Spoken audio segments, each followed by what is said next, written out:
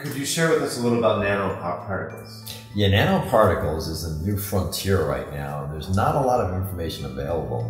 And what's happening is these nanoparticles are so small that they can actually get into the cells in your body.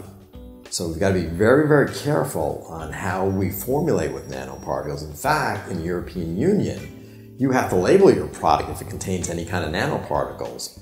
And there's been a lot of bad press about them over there, so that if you put that on your product label, people aren't going to buy your product. And I see them a lot in actually sunscreen and makeup. Um, can you give us why they would add that? Yeah, because what they want to do is make the particles so small enough that it's almost transparent when you put it on the skin.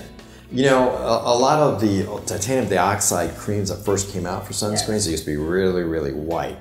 And what the industry found is if you make them smaller, you can Right. get rid of that whitening effect on your face. And the smaller, the better, but they went a little too far. And then with makeup too.